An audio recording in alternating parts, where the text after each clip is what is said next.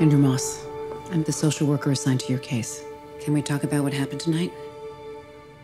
You have to keep me locked up. I think I might kill my girlfriend.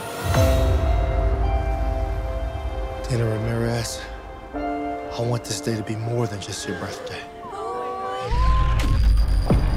You might kill your girlfriend.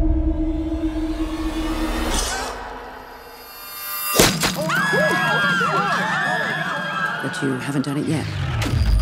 Andrew? Do you want to kill her?